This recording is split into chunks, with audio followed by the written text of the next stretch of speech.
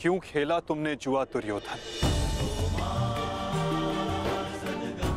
क्या तुम्हारे अनुजों में, क्या तुम में पुरुषार्थ कम था, जो द्यूत खेलने की आवश्यकता पड़ी?